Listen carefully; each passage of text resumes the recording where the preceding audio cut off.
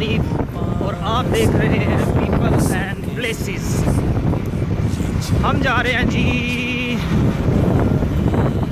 Major Raja Aziz Bhatti شہید ان کے مزار اقدس کی زیارت کے لیے آج چودہ اگست ہے۔ فریڈم ڈے ہے پاکستان کا۔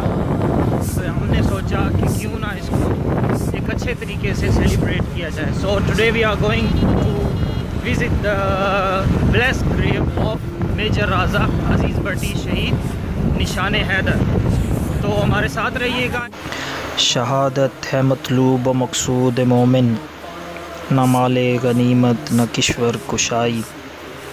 پاکستان کے نامور سپوت راجہ عزیز بٹی شہید، نشان حیدر، چھ اگست انیس سو تیئیس کو ہانگ کانگ میں پیدا ہوئے۔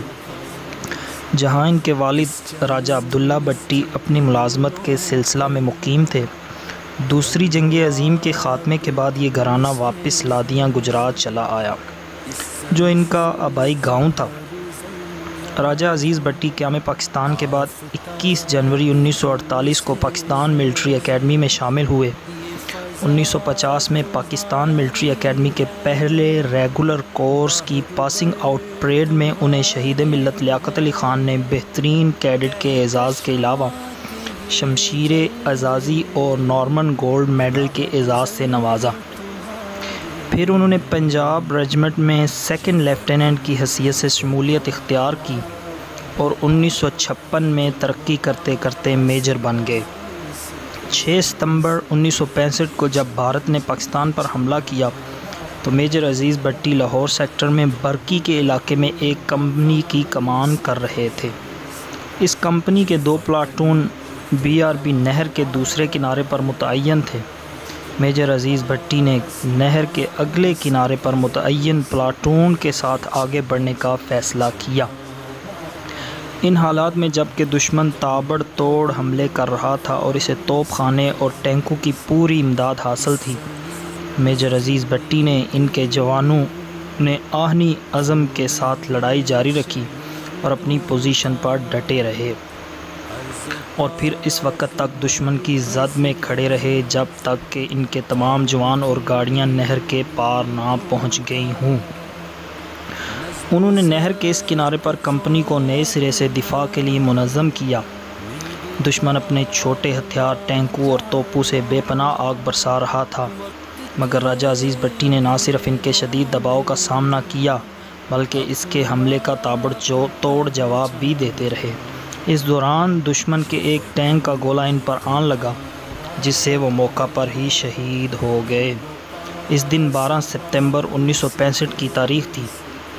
چھبیس سپتمبر انیس سو پینسٹھ کو صدر مملکت فیلڈ مارشل ایوب خان نے پاکستانی فوج کے چورانوے افسروں اور فوجیوں کو جنگ سپتمبر میں بہادری کے نمایاں کارنامے انجام دینے پر مختلف تمغوں اور اعزازات سے نوازا، جن میں سب سے بڑا اعزاز نشان حیدر میجر راجہ عزیز بٹی شہید کے حصے میں آیا۔ راجہ عزیز بٹی شہید نشان حیدر کرنے والے پاکستان کے تیسرے سپوت ہیں۔ آپ کے مزار پر موجود ایک بابا جی آپ کے شہید ہونے کا حوال اور خاندان کے بارے میں یوں بیان کرتے ہیں۔ اس وقت حضور پاک دے، جڑا اس وقت ورنل خواب ہے، اس کے آئی لاہور دشمن حملہ کرے لاہور کا پتہ نہیں ہوتا، پتہ نہیں ماں دے باپ دا بہرحال کہانی بڑی لمبی چوڑی جو دفن کی دے پورے چہرے دگ پہ خون سی۔ کلیری شب تازہ سی کنگھی ہاتھی لگی سی اور سجے کدے تے خون رہ گیا عظیم پٹی تے چھ بچے چار بیٹے تے دو بیٹے ایک بیٹا امریکہ ہے وہ نام زلفقار پڑھی ڈاکٹر ہے امریکہ رہ سب تو چھوٹا بیٹا اقبال پڑھی انجینئر کو انگلینڈ رہ ایک بیٹا رفیق بٹی فوت ہو گئے انہوں کی فیملی انگلینڈ ہے سب تو بڑے بیٹے میجر سفر کے بیٹے سب لاہور میں بیٹیاں روڈ تھے عظیم پٹ سب کے دو بیٹیاں سے ایک بیٹی تھی اردو رفت آ رہا ساڑھے پانچ سال انہوں فوت ہوئی اردو دفتر کی شادی اردو کی تھی دوسری بیٹی لاہور سی وہ نائی زینت ایک تو ڈیڑھ سال پہلے فوت ہوگی لاہور دفن ہوئی اس وقت پٹی صاحب کے تین بیٹے زندہ ਦੋ ਭਾਈ ਸੱਗੇ ਗੁਲਾਲ ਇੱਕ ਭਾਈ ਇਸਲਾਮਾਬਾਦ ਹੁੰਦਾ ਸਰਦਾਰ ਪੱਟੀ, ਇੱਕ ਲਾਹੌਰ ਹੁੰਦੇ ਰਸ਼ੀਦ ਪੱਟੀ। 6 ਸਤੰਬਰ ਤੋਂ ਇਹਨੇ ਫੈਮਿਲੀ ਦੇਖ ਸਕਦੇ ਹੋ ਇਹ ਕਮਰਾ ਪੱਟੀ ਸਾਹਿਬ ਦਾ ਸੀ, ਇਹ ਪਿੱਛੇ ਵੱਡੇ ਭਰਾ ਦਾ ਕਮਰਾ ਸੀ, ਉਹ ਸਰਦਾਰ ਦਾ ਕਮਰਾ ਸੀ ਰਸ਼ੀਦ ਦਾ ਕਮਰਾ ਸੀ, ਉਹ ਬਾਲਾ ਸਾਹਿਬ ਦਾ ਕਮਰਾ ਸੀ। ਉਹ ਇਹ ਸਾਤਰ ਬਰੇ ਸੱਤੇ ਭੈਣ ਭਰਾ ਸੀ। ਅਸੀਂ ਪੱਟੀ ਰਸ਼ੀਦ ਪੱਟੀ ਅਸੀਂ ਪੱਟੀ, ਸਰਦਾਰ ਪੱਟੀ, ਰਸ਼ੀਦ ਪੱਟੀ, ਤਾਰਾ ਬੀਬੀ ਦੇ ਰਸ਼ੀਦਾ ਇਹ ਸੱਤ ਭੈਣ ਭਰਾ ਆਪਣੇ ਕਿਤਾਬਾਂ ਵਗੈਰਾ ਜਰਾ آج تک کے لیے اتنا ہی امید ہے آپ کو ہماری ویڈیو پسند آئی ہوگی۔ لائک کر دیجیے گا شیئر کر دیجیے گا دعاؤں میں یاد رکھیے گا اپنا بہت سارا خیال رکھیے گا۔ اللہ حافظ اللہ نگہبان۔